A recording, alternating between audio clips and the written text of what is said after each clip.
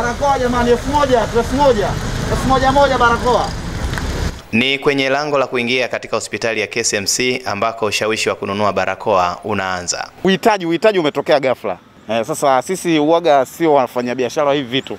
Na kutokana na ule uhitaji sasa ikaona tuchangamkie fursa ndugu yangu. Eh, ingawaje watu wanasema ni fursa pia inasaidia watu. So umeona saizi gonjwa lenyewe ndio kama hivyo. Sasa watu wote wanaoingia na kutoka katika hospitali hiyo kongwe wako katika mwonekano mpya. Awali uongozi wa hospitali hiyo uliamuru ndugu mmoja tu kupata fursa ya kuona mgonjwa, na sasa uvaaji wa barakoa ni sharti jipya na ambalo limepokelewa vyema bila minong'ono.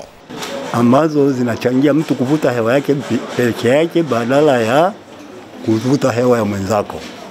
Na hili ningeomba pia lichangie katika usafiri, hizi barakoa nazo ziwe zimegawiwa wakati watu wanaingia kwenye mabasi. Kwa kweli nalazimika kuwepo kutokana na kujikinga afya zetu, lakini hali ya uchumi ni mbaya, lakini sasa hatuna jinsi.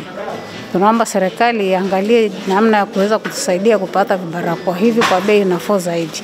kuna za shilingi elfu moja mpaka na kuendelea. Kwa hiyo kila mtu ameweza kununua kwa kadiri ya uwezo wake ambao anaweza akaununua, lakini kwa wale ambao wali- walikosa barakoa kuna namna ambavyo sisi kama KCMC tuliandaa utaratibu kwa ajili ya kuweza kuwapatia. Tunafahamu tuna namna ya familia za namna hizi ambazo kwa kweli hazina uwezo hata hiyo shilingi elfu moja, lakini sisi kama hospitali tumechukua jukumu la kuwasaidia. Huduma katika hospitali ya KCMC huvutia takriban watu elfu tatu kwa siku, wakiwemo madaktari, wauguzi pamoja na wagonjwa, lakini pia watu ambao wanakuja kutembelea ndugu zao kwa ajili ya kuwahudumia.